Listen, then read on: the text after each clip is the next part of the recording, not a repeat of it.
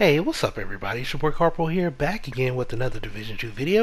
And in today's video, we're going to be showing you a full walkthrough through the Classified Assignment 2, getting you that donut backpack trophy, as well as those four collectibles. But as always, if you're new to the channel, don't forget to hit that subscribe button. And if you like the video, smash that thumbs up button, leave a comment down below, and stay up to date for more Division 2 videos. Now let's get started.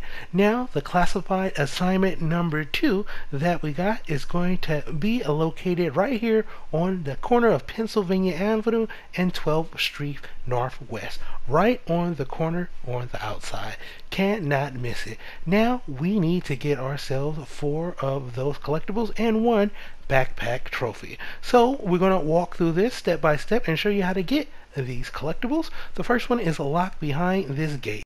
In order to open it up, we need to turn on two generators. So follow the yellow cord to both of these generators. The first one is right down the hallway. Turn it on, but before you go after the first one, open up this door right here by forcing it open, and we're going to have ourselves our first collectible right in here.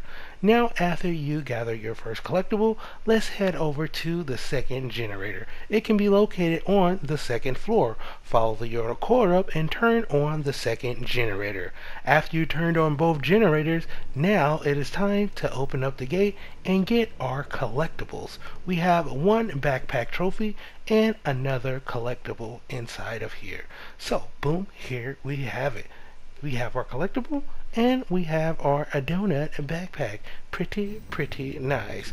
So, the only thing left to do is to grab our other two collectibles. But before we do that, let's have a look at this bad boy. This is nice. Kind of look like a kitty cat on top of a donut. I like it. So, let's head over and get our next two collectibles. Collectible number three is going to be located right before we head up the elevator open this door right here and we have our collectible number three. Now for collectible number four, after you clear out all of the enemies before you finish the mission and release the civilians, our next one is going to be located up right here. Now what you need to do is shoot the rope down, head up here, and now we will complete our subset. Pretty nice. Another walkthrough video.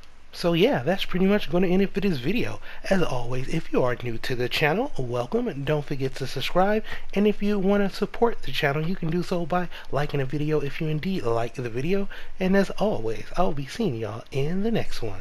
Later.